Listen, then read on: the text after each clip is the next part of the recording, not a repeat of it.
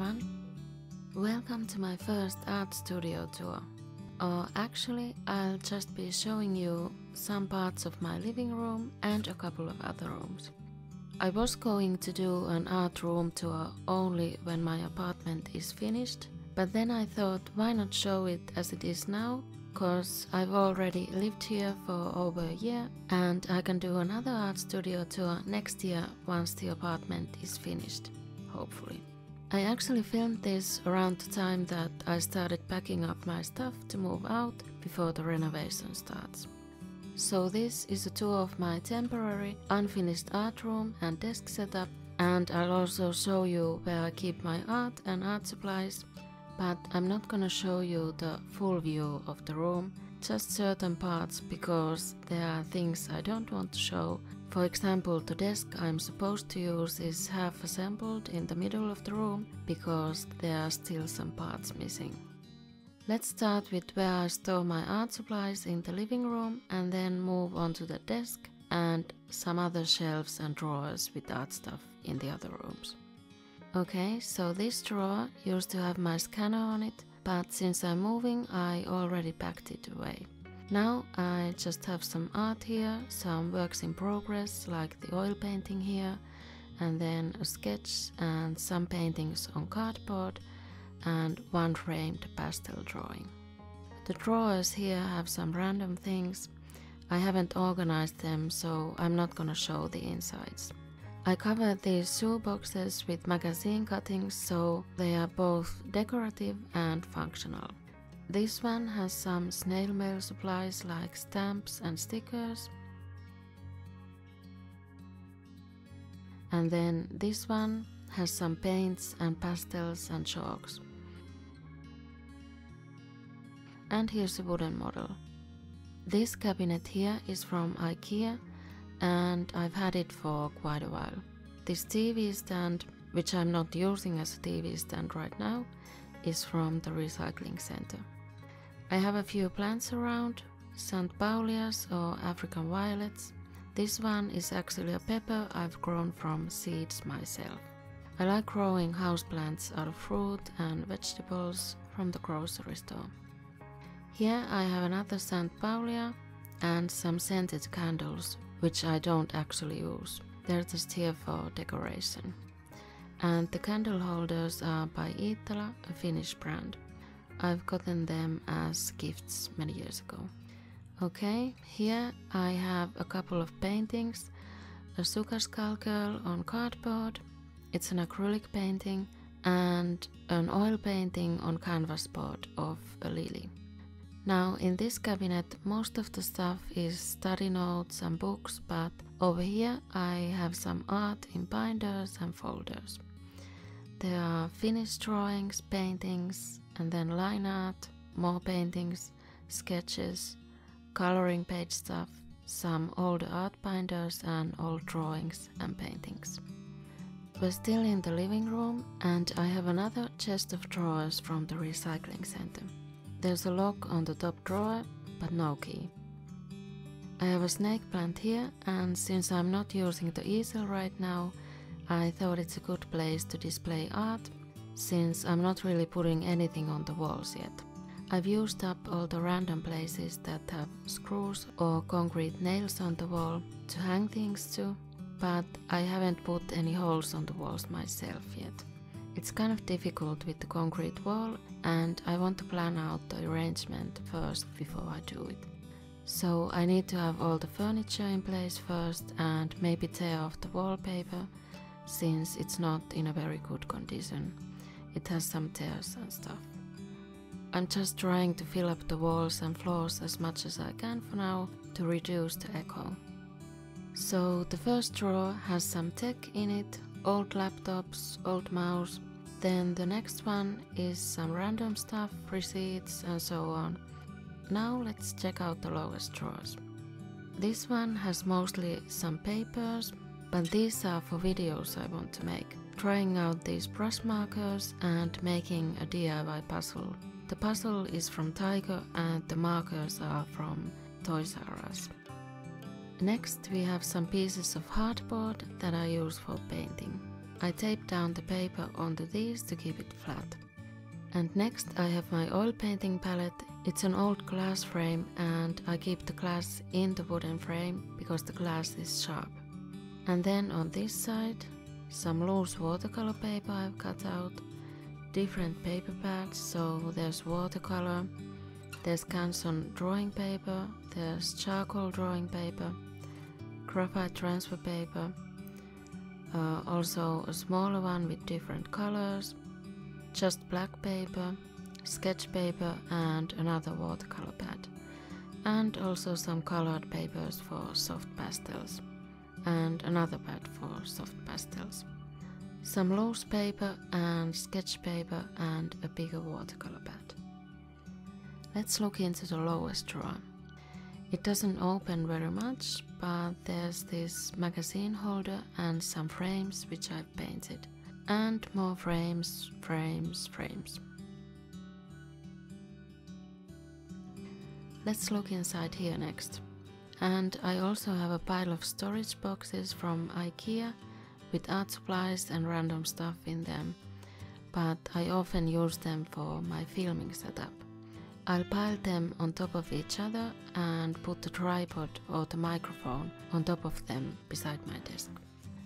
Now let's look inside.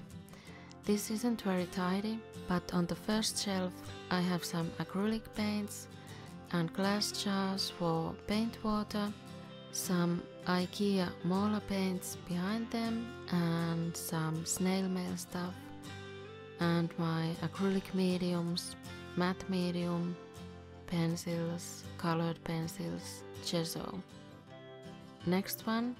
This bar is actually for hangers. The previous owner left this cabinet here and I'm using it for art supplies. So here, more acrylic paints, printer paper. These wood pieces I'd like to paint on someday. Dried paint I've peeled off from paint palettes the elastic band I use for my filming setup to keep the tripod on top of the boxes. And that's linseed oil for oil paints. Then the next one, we have some more pens and acrylic paints, charcoal drawing box set from Lidl, acrylic paint palettes, soft pastels, little containers for acrylic paints, pastel pencils, some markers, Sorry for the bad lighting, by the way. There's a wood iron set again from Lidl, which I haven't tried yet, but I want to try. Next shelf is maybe the messiest one of all, and it has my Blue Yeti microphone and some other tech, my external hard drives. I have multiple hard drives for storing all my video footage. And on the next one, some some craft supplies and fixative there's actually my drawing tablet, which I made an unboxing video of, but haven't had the chance to learn to use yet.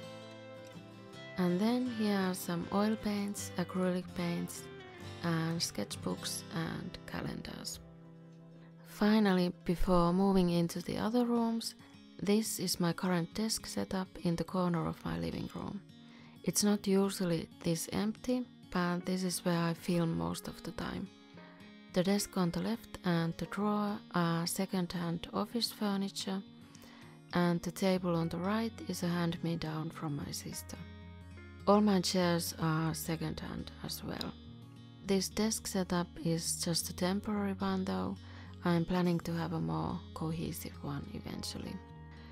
So I have two desk lamps. The one on the left has a daylight light bulb, but it's not on right now. For this video I'm using natural light and the ceiling lamp which has a normal yellow light bulb. I do use the daylight lamp normally for filming on the desk since my desk is not in front of the window, it's on the opposite side of the room. I usually have the microphone or the camera propped up on that drawer where the lamp is standing, so I'd have a pile of boxes there. I'll show you some photos or video clips of that. I film on the desk and I might have this drawing mat from IKEA on the table to protect the desk or this piece of hardboard which I've covered with DC Fix film. I use that when I'm painting on watercolor paper so I can tape down the paper on the hardboard. And it looks nicer in the video than one of those uncovered dirty looking hardboard pieces I showed you earlier. I have some paint brushes, markers, scissors, watercolor pens, Stabilo markers, micron pens and highlighters over here, my Cotman watercolor palette, some charcoal sticks and sponges. So let's move on to here. I use the mirror for filming. I don't have a flip screen on my camera, so I use the hand mirror instead to check if everything is in frame or whether the camera is still filming. And then here's my laptop and I have an external monitor here hooked up to the laptop with an HDMI cable and my modem and the camera battery charger. And I have this USB hub connected to the laptop so I can hook up more devices to the laptop. This is for memory cards and I hook up my microphone here and here's an external hard drive. This one is a 4 terabyte Seagate hard drive. I have an Acer laptop and you can see the specs here. I use it for video editing and everything really. I don't have a desktop computer. So this is where I film my art videos and this is where I edit and record voiceovers. And that's my tripod which wasn't here before because I was using it to film this. Okay, now we are in the bedroom and I want to show you these shelves. This is again from the recycling center. It's like a small bookshelf and I have some of my art stuff here. Right now I'm storing the pastel artworks in a pile over here with baking paper in between them. And here are some library books and one of my art books.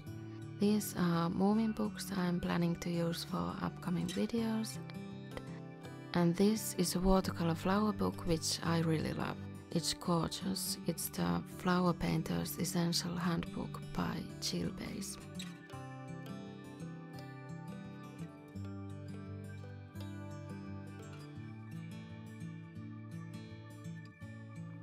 And then here I have all kinds of magazine clippings, craft papers, plastic folders, sketch papers, and down here we have some magazines which I like to cut up for crafts and some letter sets and envelopes. And then some mythology and painting books, books about plants and nature, children's books which I find inspiring for my own art, crafting, culture, museums, Egyptian mummies, religion and some frames from IKEA. I'm not using these drawers yet. I do have some other boxes of crafts and art supplies in the other side of the room that I haven't unpacked yet, but I won't show them now. The last stop of this tour is my hallway and this chest of drawers from the recycling center, once again. I would like to eventually move this in the living room cause it's a good size for art stuff but I don't want to keep art stuff in the hallway anymore. And here's a monstera leaf which is not doing very well. I got it last summer. I've actually moved most of my plants in the balcony this summer but it's been so hot that they're dying even there. The couple of first drawers have nothing art related but let's see the next ones.